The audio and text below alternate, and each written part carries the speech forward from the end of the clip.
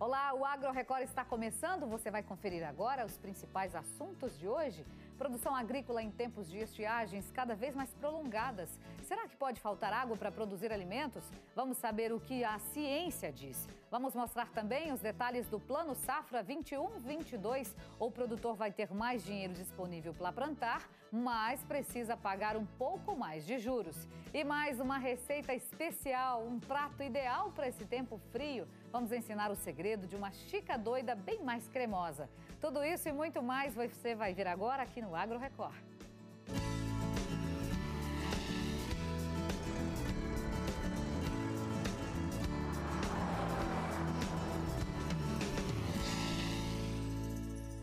Seja bem-vindo ao nosso Agro Record de hoje. E a gente sempre ouve falar que a água é um recurso natural que deve ficar cada vez mais escasso. Imagina como ficaria a produção de alimentos numa situação de escassez de água, hein? Mas o que será que diz a ciência sobre isso? Nós entrevistamos um consultor ambiental que dá o alerta. A quantidade de água é a mesma, mas o que se tem de fazer é adotar estratégias para não criar regiões secas. Veja agora na reportagem da Lorena Gomes. Ela é essencial para a vida de qualquer ser vivo. E quando a seca vem, é que percebemos o quanto ela é indispensável. Por isso que para falar sobre esse tema tão importante para a população, a gente vai bater um papo agora com o Antônio Zaek, que é consultor ambiental. Zaek, qual a relação que a gente tem com a água? A gente fala tanto em crise hídrica e muita gente associa isso, por exemplo, à falta de chuvas. Mas a relação é muito maior e não é só esse o problema, né? É, na verdade, é, a gente afirma que a água está acabando, né? Até essa afirmação ela é errada, porque a, o planeta não pede água para o espaço, a água está aqui dentro. O que, por que, que a gente está ficando sem água? O que, que é uma verdade? Né? Porque nós interrompemos o ciclo natural da água, que é um dos ciclos é, vitais do planeta. A água desenha a paisagem e a água transpassa todos os seres vivos. Então a água que está aqui e amanhã vai estar no oceano e depois volta na chuva é a mesma água milenar que está no planeta. E a nossa relação com essa água é que faz trazer essa escassez. Eu queria que você explicasse um pouco dessa nossa relação com o Cerrado, de como esse ciclo é feito. Hum, na verdade, a nossa água vem da Amazônia. Né? O Brasil é tão rico de água que se você pegar os 10 maiores rios do mundo, o Amazonas é o maior, se você somar a água dos outros nove, a Amazônia continua maior. Então a floresta, a árvore não tem coração né, para bombear o, o, os nutrientes dentro dela. Então a árvore é uma bomba de água. Ela sempre vai formar nuvem. Quem faz as nuvens né, a evaporação por, por vegetação, por floresta. A 100 quilômetros da costa, o isótopo do oxigênio é 18 e do mar é 16. Isso significa que depois de 100 quilômetros a gente só tem chuva que foi bombeada por vegetação. Então a floresta faz essa água, né, essa nuvem, que vem por cima dela e vai caindo e voltando e caindo e bombeando até chegar nos Andes. Quando chega nos Andes, se a Terra estiver no inverno, essa água vai para cima do oceano e a gente entra num período seco, que é o que está acontecendo agora. Se, e é natural. Né? Se a Terra estiver inclinando para o verão, que vai começar mais para o final do ano, essa massa de água vem para cima da América Latina enche o Pantanal, que é uma reserva de superfície, e, de novo, sempre bombeada por árvores, ela vai chegar no Cerrado, né, que tem essa relação seca e chuva, esse clima que oscila que é entre é amazônico e caatinga, né? E o Cerrado é adaptado a isso e ele tem raízes profundas que levam essa água para o lençol freático, enchendo o bolsão e alimentando as nascentes. Por que, que nós estamos ficando sem água? Porque a gente interrompe esse ciclo, a gente começa derrubando a floresta, é e, e, e, sempre impermeabilizando o máximo a cidade. Acha que é um problema, né? A água. água é vista como um problema, água é riqueza, né? Então a gente tira a água do ambiente. Você falar, ah, e a cidade? Não, porque nós vamos fazer uma drenagem, é expulsar a água, nós queremos expulsar a água do nosso ambiente e na verdade tinha que ser o contrário. A gente tinha que segurar a água e fazer ela percolar, né? Para que a gente tivesse essa sustentabilidade hídrica. Agora, óbvio que sempre vai depender do que é natural naquele lugar. Né? A gente tem essa chuva aqui que vem da Amazônia e das correntes do Humboldt do sul e elas oscilam para o Nordeste, então elas não chegam sempre no Nordeste. Mas o que, que a gente tem que entender? Isso que eu estou falando para vocês chamam serviços ecossistêmicos, né? que é a terra limpar o ar, infiltrar água, produzir água, é, produzir madeira, e são serviços ecossistêmicos. Os serviços ambientais é o que o homem faz para que isso aconteça. Então, por exemplo, proteger uma nascente é um serviço ambiental e ele devia ser remunerado. Porque você produz uma riqueza ali. Né? Então, esses são os pagamentos por serviços ambientais que estão sendo tão discutidos agora e foram até aprovados pelo governo federal. Né? Então, a, a gente não, não tá, a água não está acabando. Nós estamos ficando sem água porque nós interferimos no ciclo dela. Ou seja, o problema tem um pouco em relação aí com as mudanças climáticas, com a falta de água, mas tem muita relação do homem, né? O homem que acaba interferindo nesse sistema. É, nós somos ricos de água, né? É inconcebível que numa região que receba 1,50m, às vezes 1,70m de água numa estação, a gente fique sem água agora. Né? Cadê aquela água que inundou Goiânia, inundou Anápolis, inundou a zona rural? Cadê aquela água? Para o espaço não foi, A né? gente expulsou ela do ambiente. Você imagina que a, a Austrália vive com 400 milímetros de água e produz. Israel vive com 200 milímetros de água. Então a gente tem quatro vezes mais água que a Austrália e oito mais que Israel. E são países ricos. Né? Então o que falta é que a gente pense em tecnologia sustentável para que a gente possa resolver isso. Você fala que a água não vai acabar. Mas como é que você vê um futuro aí para os nossos filhos, os nossos netos, é, para a próxima geração, se a gente continuar do jeito que está? Então aí ela vai acabar. Ela vai acabar enquanto água disponível, né? Porque hoje a solução sempre é furar e, e buscar água no aquífero ou no lençol freático que foi armazenada de muito tempo antes. A gente não está dando sustentabilidade na água. Então assim, por, ah, mas então não pode produzir soja? Claro que pode produzir soja. Ah, não tem jeito de fazer cidade? Claro que tem jeito de fazer cidade. É o como, né? Como é que a gente se relaciona com isso? Então, é uma riqueza que a gente não está sabendo lidar com ela. Essa, esse é o ponto da gente estar tá ficando sem água. Você imagina que, é óbvio que eu acredito completamente nas mudanças climáticas, né? A discussão é o quanto das mudanças climáticas vem pela ação humana, né? O quanto de aceleração dessa mudança vem pela ação humana. Óbvio, quando você desmata um lugar muito grande, você vai interromper a chuva. Basta pensar em Lucas do Rio Verde, no Mato Grosso, Sim. que é uma das cidades mais produtivas do Brasil. Por quê? Porque está do lado do Parque Nacional. Então, toda a chuva que vem, que é retida pela floresta do Parque Nacional, cai em Lucas do Rio Verde. Será que tinha jeito da gente reproduzir isso em outros lugares no Brasil? Essa é a pergunta. Agora, para terminar com uma notícia boa para quem nos assiste, tem alguma solução? Tem algo que a gente possa fazer para mudar essa realidade que a gente vive hoje? Tem. A resposta é tecnologia. Né? É, hoje já existem soluções, existem soluções ecologicamente sustentáveis e economicamente viáveis para todos os problemas ambientais. O que, que nós temos que buscar é essa tecnologia e mudar isso. Né? Nós podemos produzir melhor e muito mais num lugar que recebe o tanto de água que nós temos. O meio ambiente é igual uma empresa, ele precisa de ter um capital para que ele possa funcionar. Então o cerrado precisa ter um percentual de, de capital de giro, digamos, verde, para que ele possa funcionar. Né? Esse assunto é um assunto muito importante, porque é uma quebra de paradigma que a gente tem que trazer para a comunidade. Não tem jeito de fazer isso só com o governo, é uma mudança cultural. Né? Então, o que aconteceu em Anápolis, por exemplo, com o Proágua, acabou ganhando até um prêmio do Banco Mundial, é uma mudança cultural. A água tem que entrar no chão nós temos que reflorestar e reabilitar o ambiente para que ele tenha vida e essa vida nos traga todos os serviços ecossistêmicos que trazia antes. Então, a água é uma riqueza que nós temos que aprender a lidar com ela. Isso é uma notícia boa. E o nosso mito ou verdade de hoje é sobre um alimento consumido de norte a sul do Brasil, só que é chamado de forma diferente dependendo da região, né? Aipim, macaxeira ou mandioca, como é conhecido aqui em Goiás. É um alimento que tem muitos benefícios. A mandioca cozida tem cálcio, magnésio, fósforo, potássio, vitamina C e outros nutri nutrientes que fazem muito bem para a nossa saúde. E dá para fazer muita coisa com mandioca também, né? A farinha é um dos derivados mais consumidos e conhecidos. Mas tem uma dúvida: será que a farinha de mandioca conserva os nutrientes da mandioca? Essa é a nossa primeira pergunta de hoje. A farinha de mandioca é tão saudável quanto a própria mandioca? Será que é mito ou será que é verdade? Eu te conto já já.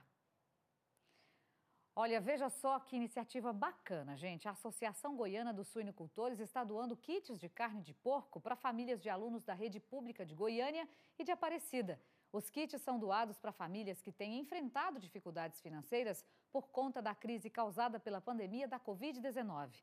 Numa escola de Aparecida foram distribuídas foram distribuídos 180 kits, cada um com 3 quilos de carne. Outras centenas de famílias de alunos de duas escolas municipais da capital também receberam. A equipe da AGS faz a entrega para um grupo pequeno e as demais famílias buscam os kits em horários agendados para evitar aglomeração. As doações também são feitas para abrigos e instituições filantrópicas que distribuem refeições. Em uma semana, a AGS doou mais de 1.700 quilos de carne. As doações são recolhidas entre criadores que fazem parte da associação e alguns frigoríficos também. Um gesto que beneficia quem recebe e faz bem para quem doa. Vamos ver o vídeo, olha só. A gente tem esse trabalho que é a inserção da carne suína na merenda escolar. E a gente achou por bem a gente fazer essa ação agora, né? É, tanto para ajudar essas famílias que hoje eles não estão tá tendo a, a, alimentação presencial né, nas escolas, a gente achou por bem é, inserir a carne suína para elas levar para casa e ter esse é, consumo da carne suína na, na, nas, nas residências. A carne está cara e a situação não está boa, né? Nesse tempo de pandemia está muito complicado né, a situação, né? Então é uma maravilha, é uma bênção de Deus. E agora, o quadro Senar Goiás do campo à cidade. Nós já começamos o segundo semestre do ano, mas ainda dá tempo de você investir numa nova profissão ou aperfeiçoar a que já exerce, né? A Faculdade CNA está com inscrições abertas para um novo processo seletivo. Agora, se você prefere uma formação técnica, o Senar Goiás também tem vagas disponíveis para você. Nós vamos saber mais agora com a Mara Lima, ela é gerente de educação formal do Senar Goiás. Seja muito bem-vinda. A gente já começa falando da Faculdade CNA, quais os cursos disponíveis, o investimento, né? E sobre o ensino à distância também, que não pode faltar. Claro, é um prazer sempre estar com vocês aqui no Agro Record, Juliana. E é importante a gente destacar o seguinte: a Faculdade CNA está aí com quatro cursos abertos, tá? É gestão do agronegócio, gestão de recursos humanos, gestão ambiental e processos gerenciais. São cursos 100% EAD e com investimento muito legal, de 179 reais. Então é o momento aí de entrar no site da faculdade e fazer a sua inscrição. Que ótimo, gente. Para quem procura um curso técnico, o Senar está com inscrições abertas também. E é de graça, né, Mara? Exato. Já o curso técnico em agronegócio, Juliana, nós estamos com três polos abertos, tá? As inscrições para Porangatu, Itumbiara e Alexânia. Isso totalmente gratuito, mas que dá uma preparação muito interessante para atuação no agronegócio e ele é 80% EAD, tá? E 20% presencial. Tá certo. Olha, para a gente finalizar aqui, como é que está o mercado de trabalho no agronegócio agora? Eu converso com muitos produtores rurais durante as gravações no campo, né, das matérias para cá, e muitos falam o seguinte: olha, trabalho tem, mas falta mão de obra qualificada, falta gente com conhecimento e o agronegócio é muito promissor, né, Mara? Claro, e assim, segundo os dados do CAGED, aí só no primeiro semestre desse ano foram geradas mais de 60 mil postos de trabalho voltados ao setor agropecuário. Então, é, agora é, vamos falar assim, bem numa linguagem do agro, é o queijo e a faca na mão. Né? Então, está aí o Senar, está aí a Faculdade CNA, é o momento das pessoas capacitarem né, para suprir essa carência de mão de obra e entrar preparado. Muita gente me manda mensagem no meu Instagram. Esses dias um rapaz disse assim: Olha, a minha esposa está recebendo a herança aí do pai dela, mas eu não entendo nada de roça. O que, que eu faço? Aonde que eu vou para fazer esse curso do Senar? Quem tem dúvida, como é que faz para ou procura diretamente o Senar através dos telefones, ou entra no site do Senar né, e entra no site da Faculdade CNA. Aí, Juliana, não tem erro, é entrar e ser atendido. Olha só, se você está procurando uma vaga de trabalho, é importante ter qualificação para ocupar essa vaga. E se for o caso desse rapaz também aí, que agora vai ter que tomar conta de uma propriedade, não perde tempo, é só procurar o Senar Goiás, que está cheio de coisa lá para você estudar e ter mais conhecimento. Obrigada, viu, pela sua participação. Eu que agradeço. Agradeço a todos. Esse foi o quadro Senar Goiás, do campo à cidade.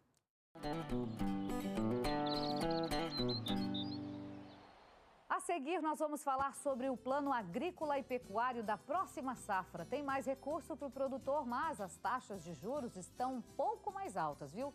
E ainda hoje, eu sei que você gosta, tem uma receita ótima para dias mais frios como os de agora. Vamos mostrar como se prepara uma deliciosa chica doida. Hum, a gente volta já.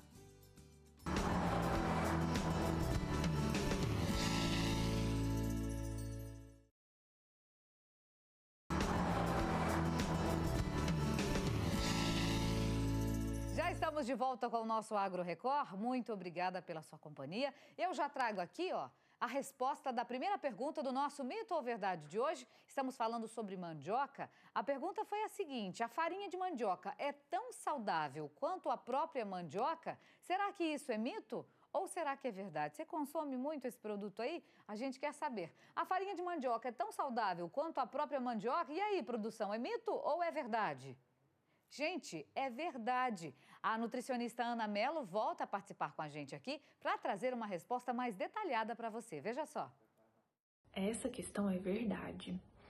É, os dois são saudáveis porque os dois são minimamente processados, ou seja, eles precisaram de um mínimo processo só descascar, ralar, né, cozinhar e não foi acrescentado nenhum subproduto, nenhum é, acidulante, corante, é, aromatizante. Então, os dois são ótimas fontes de carboidrato e excelente para a saúde.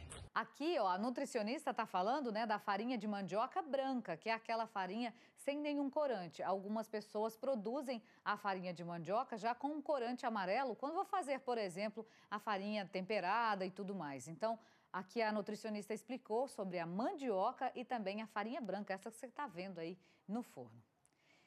E o Plano Agrícola e Pecuário para a próxima safra prevê mais investimentos em políticas públicas de produção sustentável. Houve um aumento de mais de 100% dos recursos destinados à agricultura de baixo carbono, o chamado Plano ABC. O repórter Leonardo Gonçalves traz para a gente mais detalhes do Plano Safra publicado pelo Ministério da Agricultura. Veja só.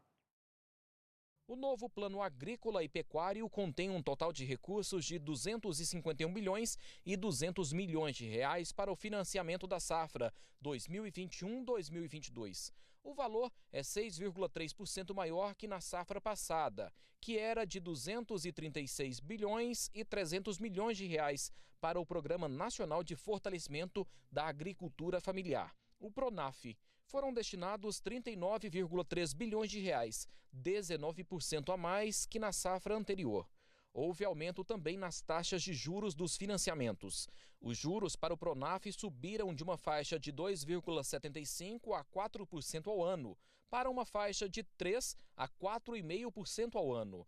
Para os médios produtores participantes do Pronamp, os juros também subiram, de 5% para 5,5%, e para os grandes produtores aumentaram de 6% para 7,5%. Apesar desse aumento de juro, ainda é um juro que atende à expectativa do setor, né? porque se a gente for comparar com o crédito que vem das empresas através de barter, de insumos, né? pelos outros bancos, ainda é um juro é, competitivo. Né? É, também houve aí por parte do, do Plano Safra um aumento aí é, de, de dinheiro para o setor, isso é importante, apesar de nossos custos para a próxima safra terem sofrido um aumento considerável. Um dos pontos que mais se destacam no novo Plano Safra 2020-2021 é o aumento dos recursos destinados ao Plano ABC, que é um programa voltado para a agropecuária sustentável.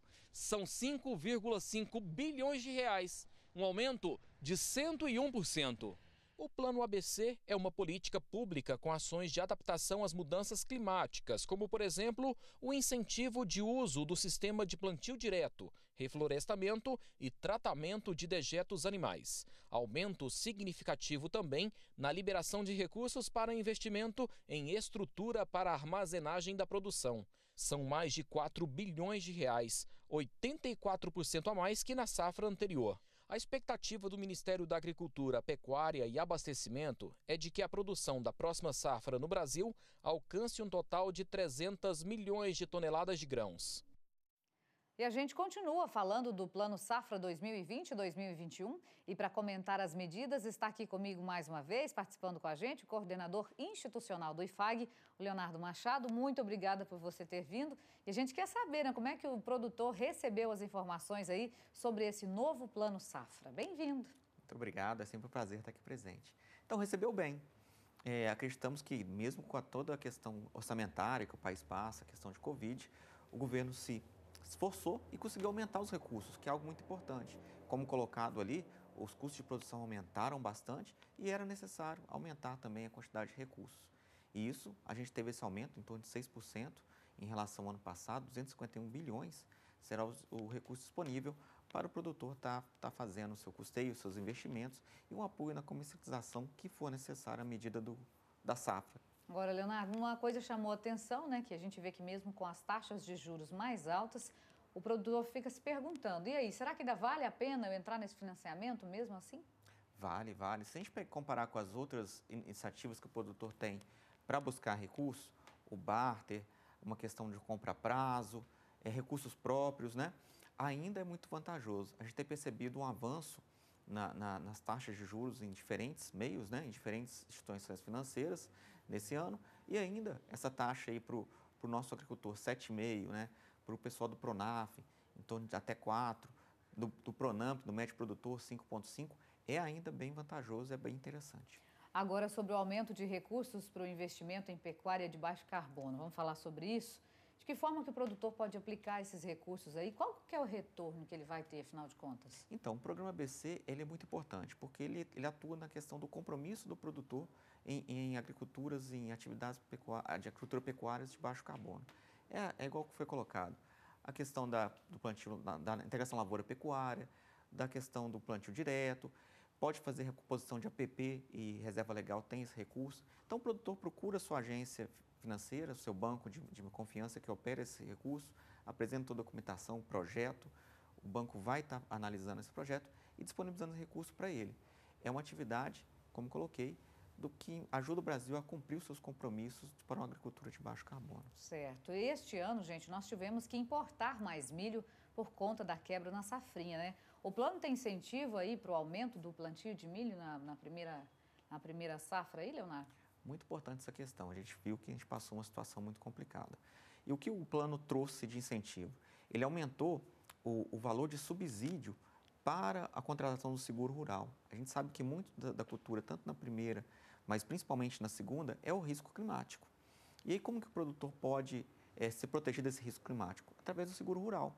Então, o, o governo aumentou o, o, a subvenção para a contratação do seguro rural e deve trazer, no decorrer do ano, algumas medidas mais é, interessantes para esse instrumento de proteção de risco, como talvez um aumento aí na, na, na, na, no nível de risco, que é algo importante, aumento na questão da, da janela de plantio, uhum. que foi uma das reclamações do produtor.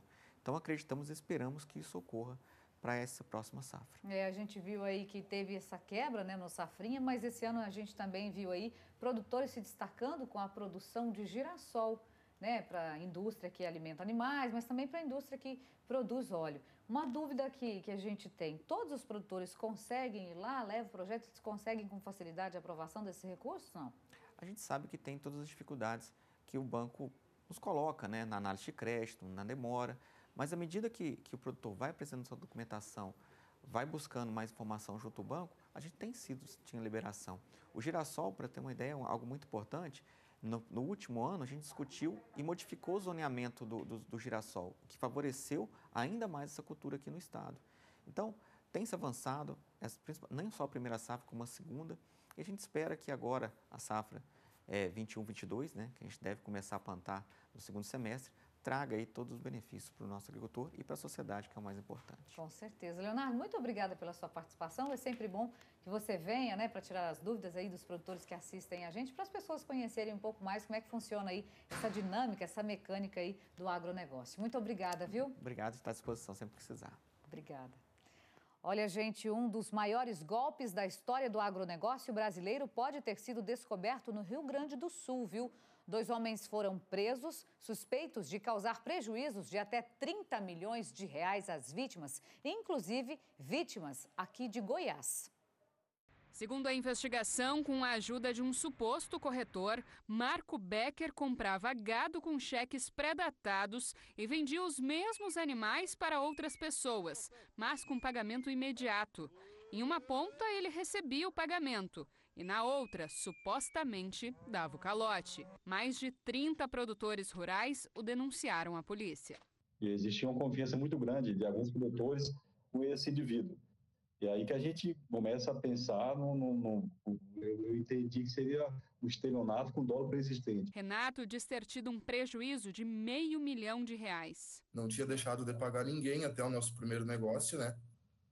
E aí eu fiz o negócio, correu tudo bem, aí eu ganhei um bom dinheiro e aí a gente vai, vai pegou a confiança, né? Ele bem, como é que eu vou te explicar assim? Ele tinha um, tinha um crédito muito bom, assim, perante até as leiloeiras daqui, então a gente vai se baseando nisso, né? E foi onde eu acabei embarcando com, com isso aí tudo. Uma vida toda de trabalho, foi ali num negócio mal feito. O suposto golpe aconteceu em pelo menos 10 municípios aqui do Rio Grande do Sul. As negociações também ocorreram por outras regiões do país. Segundo a polícia, Marco já teria negociado muitos lotes de gado para frigoríficos de Mato Grosso e Goiás. Marco foi preso no interior do estado. Um suspeito de ser comparsa dele, que não teve o nome revelado, foi detido em Porto Alegre. A polícia acredita que o esquema causou um prejuízo de 30 milhões de reais. Isso aí a gente sabe que vai levar muitos anos para a gente recuperar, né? E esperar que a justiça faça parte dela. Olha, se você foi vítima, né, desse, desse pessoal que foi preso, denuncie também, porque às vezes a gente passa ali né, e não vê. Quando aparece na televisão, esse é o rosto do homem que foi preso. Ó. Produtores rurais que sofrendo aí com um golpe milionário a respeito, a respeito de gado, né? É brincadeira, né, gente? Não respeitar um trabalho que é tão árduo, né? Um trabalho que é tão importante, que é essencial. Nós aqui de Goiás, o Brasil inteiro, né? Produzindo carne, produzindo alimentos, produzindo grãos. E tem gente que quer se aproveitar disso, de um trabalho tão sério, né? Falando em trabalho sério, vem aqui comigo que eu tenho um recado especial para você, te mostrar arroz e feijão barão. Se você ainda não conhece arroz e feijão barão, eu conto, viu? Conto para você que esse trabalho maravilhoso da indústria começa lá na lavoura. Os grãos são selecionados por quem entende do assunto, são compradores que vão até o campo e acompanham todo esse processo da lavoura, desde que o produtor está lá produzindo até o final, até a hora da colheita. Essa qualidade começa no campo e você comprova isso quando leva arroz e feijão barão para sua casa. Já imaginou? Hoje é domingo, é dia de você comer aquele arroz soltinho com feijão barão, aquele franguinho caipira aí e compartilhar também com a sua família. É de dar água na boca, né? Se você já conhece, sabe muito bem o que a gente está falando. Agora, se você não conhece arroz e feijão, está na hora de conhecer, está na hora de de conhecer, de comprar, de levar para sua casa. Arroz e feijão, é claro que é barão, olha só. Chame a família toda, tá feita a combinação. Se tem comida boa, hoje é dia de barão. Se tem feijão barão, tem arroz barão também. Com barão todo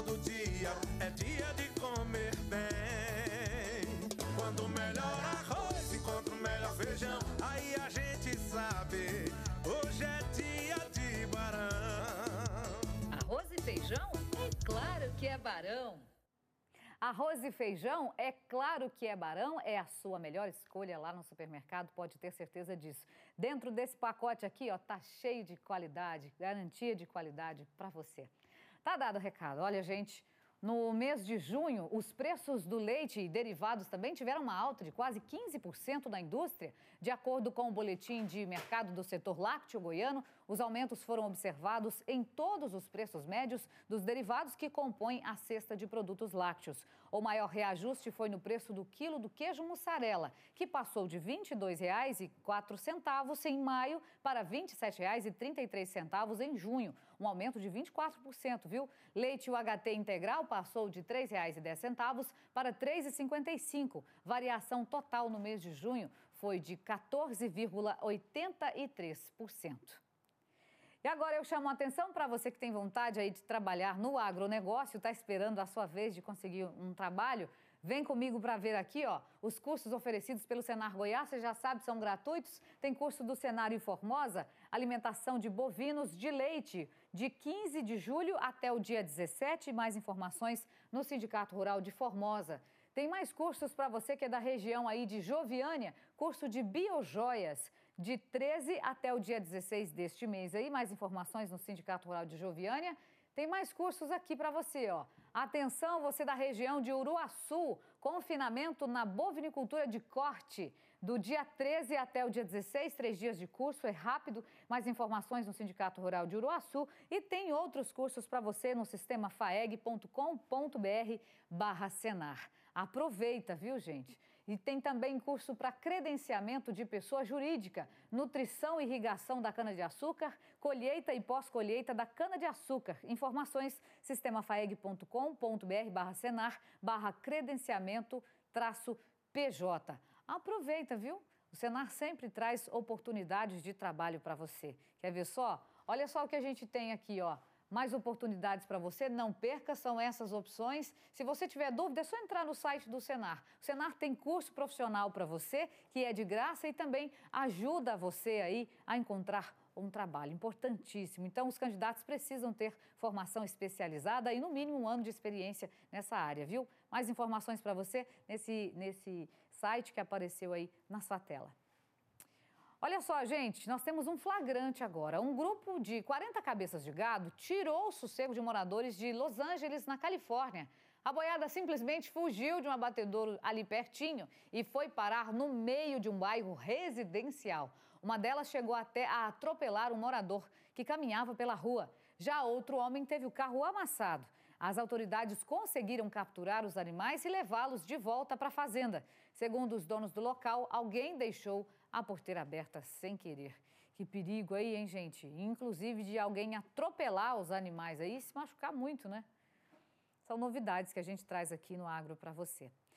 E agora, mais uma pergunta do nosso Mito ou Verdade. Hoje a gente está falando sobre mandioca. Por ser uma raiz rica em carboidratos, muita gente tem dúvida se comer mandioca faz bem para as pessoas que têm diabetes. E aí, você tem diabetes? Ficou curioso? A gente quer saber. A mandioca faz bem para quem tem diabetes ou a pessoa precisa comer com moderação? Será que é mito ou será que é verdade? Eu conto para você já já.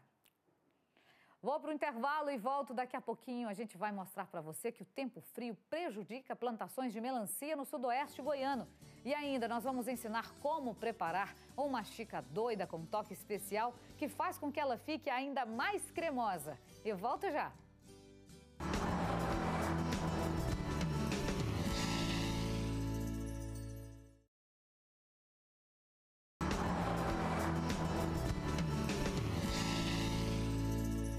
Muito bom ter a sua companhia, viu? A gente volta com o nosso Agro Record, trazendo agora as cotações. Hora de dar uma olhada aqui no mercado, né? A gente começa pela soja. Soja disponível, preço médio semanal, saca de 60 quilos, em catalão, sendo comercializada R$ 140,25. Jataí, R$ 153,00. A variação da semana em Goiás é positiva, em 2,73%.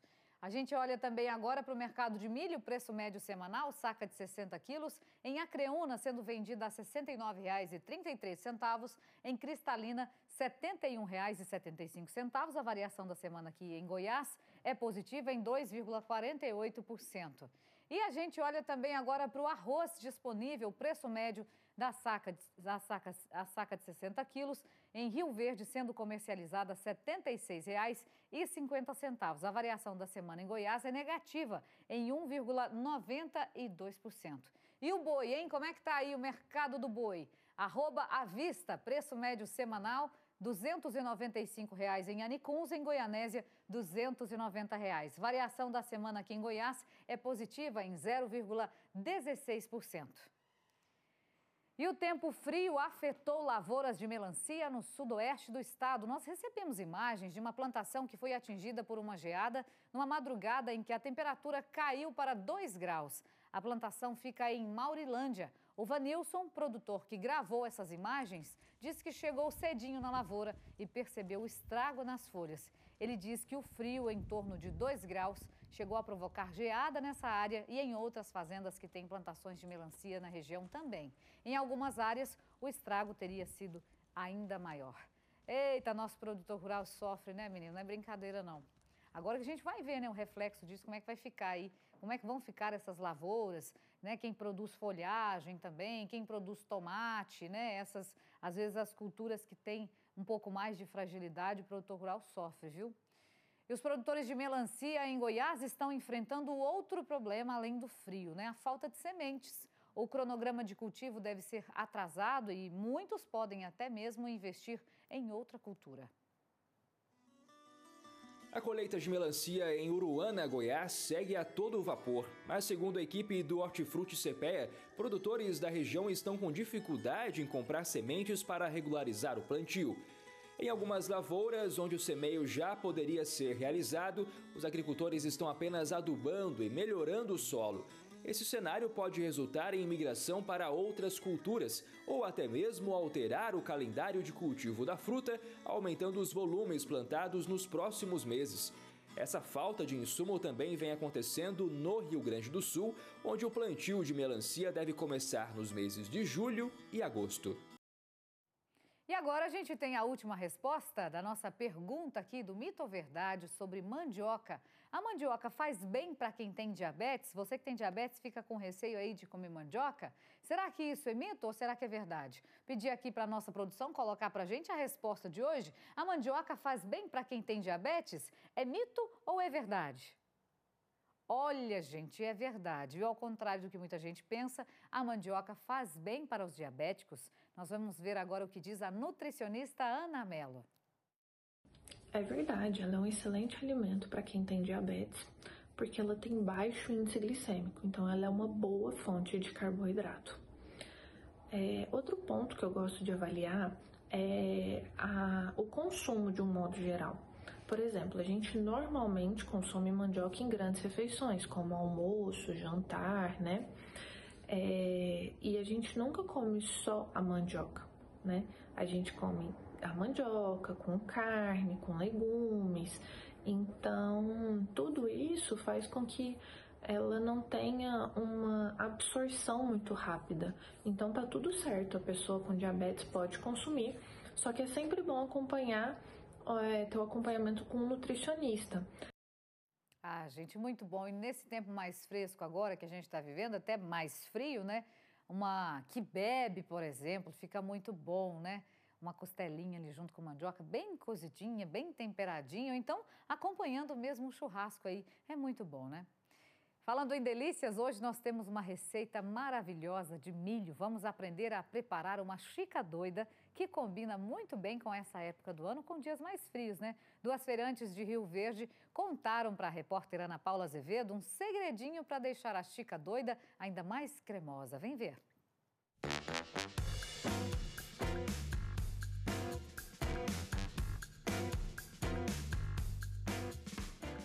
Chica Doida foi criada há mais de 50 anos por um casal em Quirinópolis, pertinho aqui de Rio Verde. Só que ao longo dos anos, a receita vem sendo adaptada. E quem vai ensinar uma Chica Doida pra gente hoje um pouquinho diferente é a Rosângela e a Giovana. Conta pra gente o que de especial tem na Chica Doida de vocês. Bom, é, além da linguiçinha de porco, né, a calabresa, ou a mussarela, a gente tem um segredinho que é o creme de leite. Porque a maioria da, das chicas que eu já vi por aí, receitas, buscando receitas, é, eu, ninguém usa o creme Esse de leite. ingrediente. Então, o nosso pulo do gato, digamos assim, é o creme de leite. Esse então vai ser, seria o diferencial de Sim, vocês. O diferencial da nossa chica é o creme de leite. Vocês são feirantes, né? E vendem é, a Chica Doida nas feiras aqui. O pessoal pede não só nessa época, não, né? Sim, a gente vende ela o ano todo. A gente faz a chica doida na feira de quinta somente. Nas outras a gente já, já tentou inserir, mas não deu muito certo. A procura não era muita. Mas toda quinta-feira. Toda época do ano sai. Lá na, na Morada do Sol. Não é só agora em festa não, junina, de não. janeiro em janeiro a gente tem. Se alguém quiser, inclusive, eh, fazer encomenda, a gente pega também. Pega também. E nessa receita de hoje a gente vai usar a linguiçinha de porco que você falou, né? Hum. Mas a pessoa pode colocar o ingrediente que quiser. Sim. Vale da criatividade. Porque, como você falou, essa receita foi criada, né, inventada há mais de 50 anos por um casal em Quirinópolis. Porém, é, a receita que a gente vai fazer hoje foi a que deu mais certo, é, que agradou mais ao paladar dos nossos clientes. Mas a pessoa pode colocar palmito, pode colocar cebola, cheiro verde. Aí o, o, Fica o gosto, tempero, né, o da gosto pessoa. da pessoa. E quanto mais recheio, melhor. Melhor. então tá, vamos lá então. Mãos à obra agora, mãos na Vamos massa começar. mesmo, vamos lá? Anote então os ingredientes que você vai precisar. 300 gramas de linguiça de porco, 200 gramas de azeitona, 100 gramas de calabresa defumada, um pacote de mussarela, 10 espigas de milho, uma caixa de creme de leite, 400 ml de água, 2 colheres de óleo e sal a gosto. É que a gente já deixou tudo preparadinho, né? A gente vai triturar o milho, que já está cortadinho. A gente vai colocar a água, né? Mais ou menos 400 ml, até começar a tampar o milho.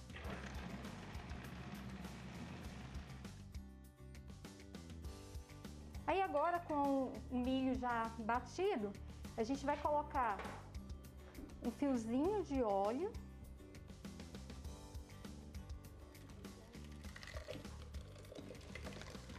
A gente vai colocar o sal. Aí fica a critério de cada um. Se quiser agregar mais outros temperos aqui, é, cheiro verde no final também pode, né?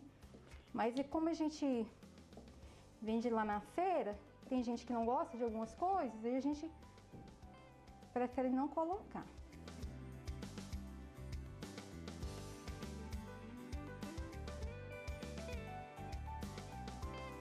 Bom, e é isso, gente. Já tá quase pronto. É rapidinho. Só deixar ele dar mais uma fervidinha aqui. Essa massa é tudo de bom, meu povo. Ela fica nessa consistência aqui. É claro que se a pessoa gostar dela mais firme também, né, pode ser. Mas a gente prefere ela nesse ponto aqui, ó. Cremosa.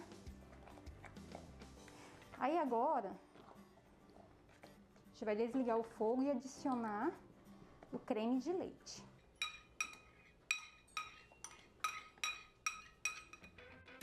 Agora que a nossa massa já está pronta, é hora da gente começar agora a colocar nas forminhas e colocar né, o nosso recheio. É, vocês usam essa forminha aqui de alumínio? Sim, a gente usa essa de 500, 500 ml, né? Inclusive essa daí dá para servir duas pessoas. É, Depende serve. da fome. É, se a pessoa assim não for boa de apetite como eu e o meu nenê, né? Aí não dá. dá. Aí primeiro você coloca a massa. Sim, eu, eu faço a caminha com a... A gente vai fazer a caminha aqui com a massa, né? Aí agora colocar a linguiça. A linguiça aqui, gente, a gente cortou bem pequenininho, pequenininho assim, mas também é opcional. Se a pessoa quiser colocar Maior, os a quantidade pedacinhos mais também. aí a pessoa fica a critério da, da pessoa, né? De cada um.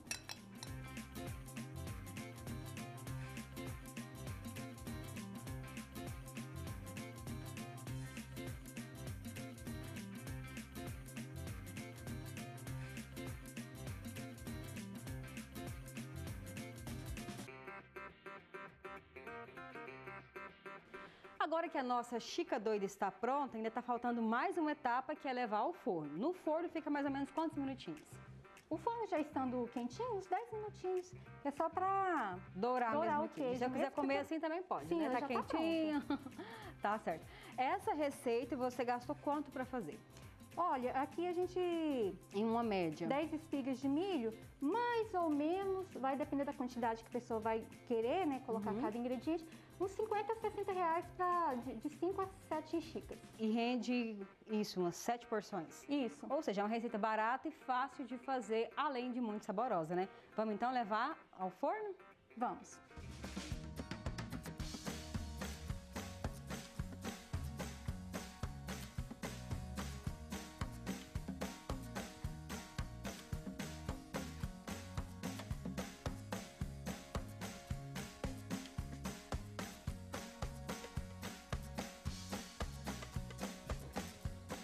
Agora chegou a melhor parte da nossa receita, hora de saborear. Vou tirar minha máscara, né, para eu poder saborear aqui a nossa chica doida. Tá quentinho, viu, pessoal? É, vamos ver se você vai aprovar. Pode nem queimar a boca. Não, mas só de ver aqui como foi feito, eu já tenho certeza. Vou mostrar pro pessoal de casa, Delton. Olha só.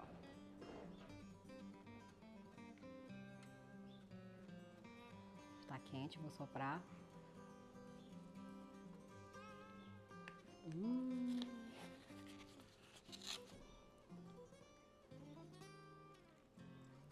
E aí, aprovada? Hum. Não posso falar no momento. Hum. Nota 10. Como você falou, o diferencial que a gente percebe logo na hora que a gente come É o creme de leite. É. Segredinho. O segredo, o sabor, né? Que dá diferente, diferente de outras receitas. Sim, ela fica mais cremosa. Uhum. né? E tá bem recheada, viu, gente? Bem recheada, do jeitinho que eu gosto mesmo. Então agora eu vou ficando por aqui, viu? Porque agora eu vou terminar de saborear a minha chica doida. Então vocês aí de casa, ó, quem sabe, faz aí pra vocês provarem e mandem pra gente, viu? Aldel- Aldelton, você quer? tá bem. tchau, tchau.